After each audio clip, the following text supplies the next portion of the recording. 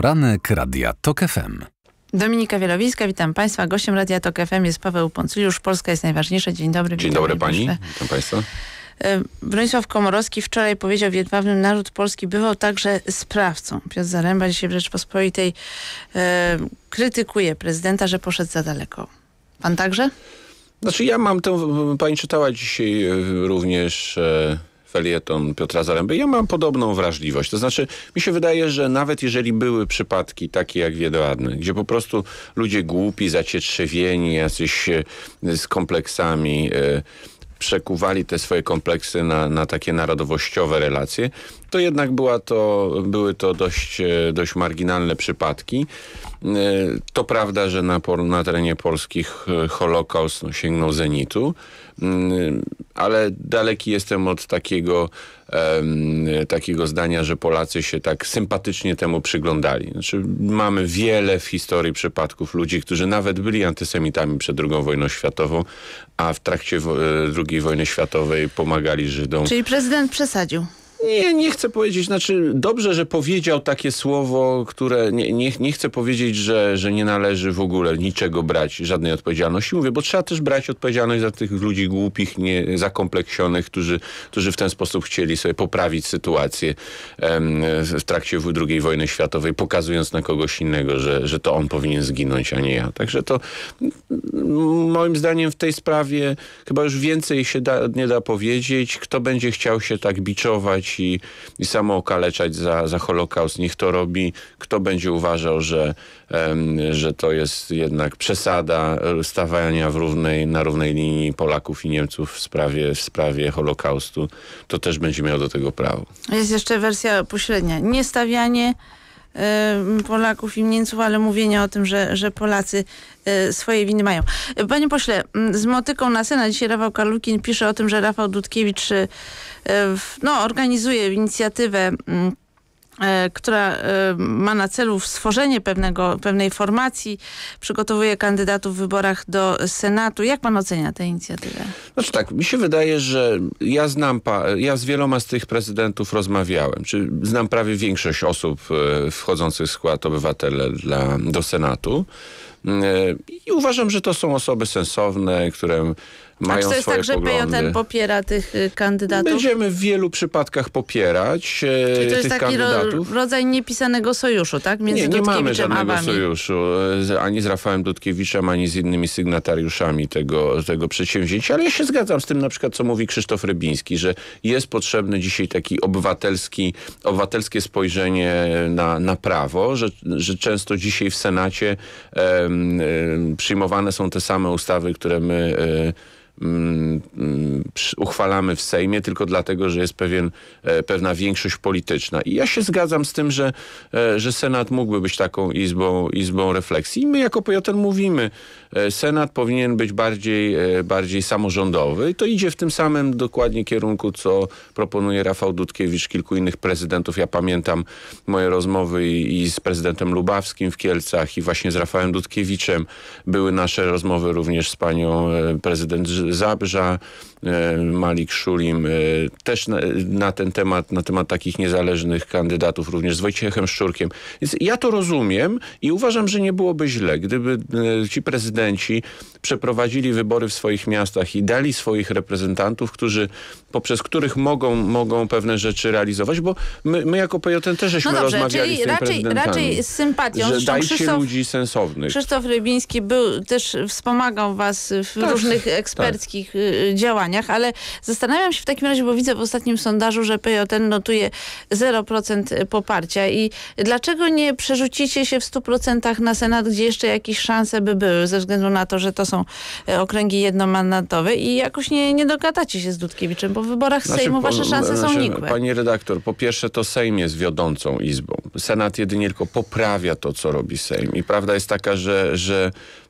Senat, e, no, Senat nie ma tej siły politycznej i dlatego między innymi prezydenci e, mogą sobie pozwolić, nie, nie wystawiając list do Se- Sejmu, mogą sobie pozwolić na walkę w Senacie. Jeśli chodzi o notowanie, pani dobrze wie, że w wakacje wszystkie notowania są warte tyle samo, co rzucanie kostką. Nie, nie, ale kostką do moglibyśmy dyskutować, gdybyście mieli 3%, 4%, to to było, była Ale pani redaktor- oscylowanie wokół progu.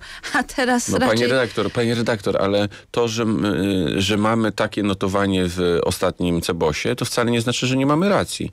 A dla nas racja jest ważniejsza No ale niż właśnie to, niż może to, czy warto są takie zawalczyć o rację w tym miejscu, gdzie macie większe Znaczy, szanse na jakieś mieli, mandaty. Jeśli będziemy mieli pomysły na, e, na, na, na dobrych kandydatów do Senatu, również e, spośród nas samych, To dogadacie się z Dudkiewiczem? Znaczy myślę, że uzupełnimy się, bo, bo akurat e, w tych miejscach, w których ci prezydenci wsk- będą wskazywali swoich kandydatów, my nie mamy kogoś, kto by się palił do, do samego A Senatu. pan nie myśli o starcie do Senatu? Nie, ja nie myślę. Do, starcie do Senatu, tym bardziej, że Warszawa jest tak spolityzowanym miastem, że tutaj kto nie ma pieczątki PO na czole, to nie ma żadnych szans do Senatu. I, i zobaczy pani za parę miesięcy, że e, czy będzie to system jednomandatowych okręgów do Senatu, czy będą, powrócimy, będzie ten stary No system. właśnie, bo to pojawiły się takie tak informacje, Platforma że... wygra w Warszawie, niestety.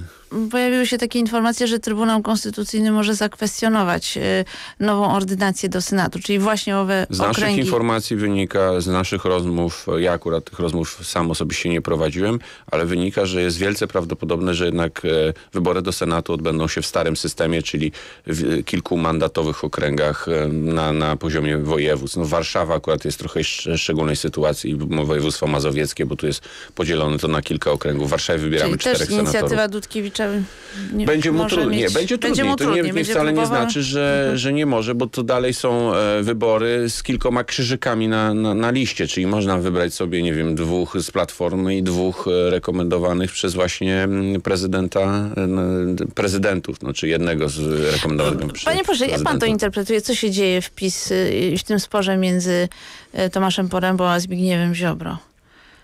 Znaczy moim zdaniem e, e, toczy, się, toczy się jakaś gra. I teraz pytanie, na jakiej płaszczyźnie? Czy na płaszczyźnie takiego cynizmu pod tytułem Zbigniew Ziobro życzy, żeby był e, PiSowi jak najsłabszego w wyniku wyborów, bo wie dobrze, że po szóstych przegranych wyborach w PiSie musi dojść do perturbacji. E, Ludzie PiSu już powypadali z samorządów wojewódzkich, z wielu samorządów również gminnych i w tej chwili okaże się, że jeszcze mniejsza grupa posłów będzie w Sejmie, a więc też otoczenie tych posłów będzie, e, będzie bardziej szczupłe. I to może być tak, że im gorzej, tym lepiej. Może też być tak, że Zbigniew Ziobro chciał zaistnieć, ponieważ no, będąc w Europarlamencie nie ma zbyt Bał wiele... się, że Polacy wiele, zapomną o nim. tak, zbyt wiele okazji do, do podkreślenia o swoim jestestwie i w ten sposób chciał zaskarbić sobie zaufanie Jarosława Kaczyńskiego. Tylko prawda jest taka, że te słowa, które wypowiada Jarosław Kaczyński, my wszyscy traktujemy z, pewnym, z pewną wyrozumiałością, pobłażaniem i nie zwracamy na to uwagę. Natomiast jeżeli te same słowa padają z ust innych polityków Prawa i Sprawiedliwości, brzmią chropowato albo wręcz e, absurdalnie. E, Jeśli chodzi o, e, o spór samego Tomasza, e, Zare, Tomasza Poręby. Poręby i, i Zbigniewa Ziobry, myślę, że to jest tak, że Tomasz Poręba chciałby prowadzić kampanię, jaką myśmy prowadzili rok temu w wyborach prezydenckich. On by chciał takiej spokojnej, merytorycznej kampanii, tym bardziej, że jest o czym mówić. Nie trzeba straszyć Smoleńskim, nie trzeba cały czas tak grzmieć w tarabany, takie czysto emocjonalne. I to widać po, po Jarosławie Kaczyńskim. Od wielu, wielu tygodni jest bardziej spokojny, stonowany, niewiele No, Macierewicz razy przejął tę rolę. E, I myślę, że Tomasz Poręba, jak usłyszał te słowa, no to ręce mu o tyle opadły, on to powiedział w wywiadzie, wywiadzie chyba dla Rzeczpospolitej. No to, e, to to oznacza, że po prostu była przygotowana strategia, że Jarosław Kaczyński jest miłym starszym panem, który prawie, że bierze dzieci na kolana i głaszczy po głowie.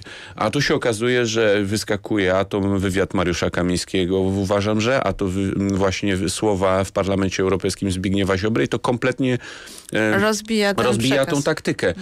I teraz e, Tomasz Zarębat udzielając tego wywiadu, myślę, Poręba. że z, Poręba, przepraszam, e, e, to, to zrobił tak trochę z, zaskoczenia i z rozpędu. No, a E, potem złożył samokrytykę z nie na jednej zorientował się, że, konferencji. bo, bo moim zdaniem gdzieś jednak wrażliwość Jar- Jarosława Kaczyńskiego jest po stronie Ziobry. Natomiast myślę, że z drugiej strony Jarosława Kaczy, Kaczyńskiego irytuje, że to właśnie Zbigniew Ziobro powiedział. Dla mnie tak naprawdę jedna rzecz jest ważna. Mentalność Kalego w przypadku Prawa i Sprawiedliwości. Jak Bronisław Geremek kilka lat temu e, krytykował w Parlamencie Europejskim Polskę, rząd polski, to wtedy profesor Legutko się strasznie na to obrażał. Teraz profesor Legutko mówi, no przecież powiedziano prawdę, więc o co chodzi?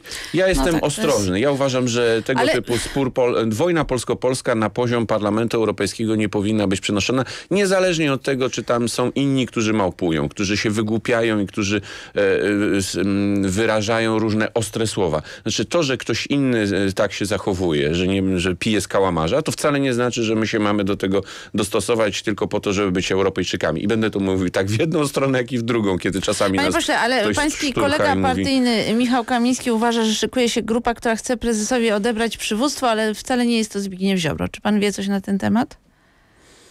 Znaczy, to jest możliwe. To znaczy, że gdzieś e, Zbigniew Ziobro ma swoją, e, jak to mówią, e, wielbłąd i poganiacz ma swoją logikę. I to może to tak być, że z jednej strony Zbigniew Ziobro liczyłby na to, że zresztą ja pamiętam przecież przy wyborach prezydenckich, przed wyborami prezydenckimi, gdzie Zbigniew Ziobro przymierzał się do tego, żeby zostać kandydatem na prezydenta z ramienia PiSu, ale gdzieś jest ta grupa w otoczeniu Jarosława Kaczyńskiego, która mówi, no kurczę, szósta przegrana, no przecież my tego nie przeżyjemy, przecież tego nam ludzie nie wybaczą.